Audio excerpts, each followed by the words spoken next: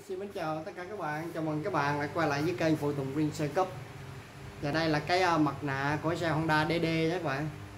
Mặt nạ của xe Honda DD à, Đẹp liền lạc. Nước sơn dinh các bạn, nước sơn dinh cực đẹp luôn nha. Đây, mình chưa có đánh bóng.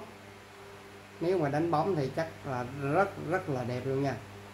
À, Chưa đánh bóng nha các bạn nước sơn zin đẹp.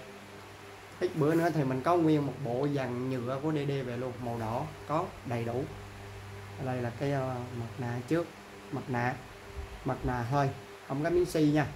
Rồi anh em là có nhu cầu lấy cái mặt nạ DD các bạn liên hệ trực tiếp số điện thoại trên màn hình ở Sài Gòn qua trực tiếp shop để lấy nha. Còn những anh em mà ở xa thì à, chuyển khoản rồi bên mình ship bưu điện tận nhà cho các bạn. Lưu ý nha chuyển khoản là bên mình, ship bưu điện tận nhà, chuyển tiền trước, ship hàng sau. Không ship code nha.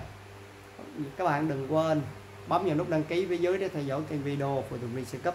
Xin cảm ơn tất cả các bạn.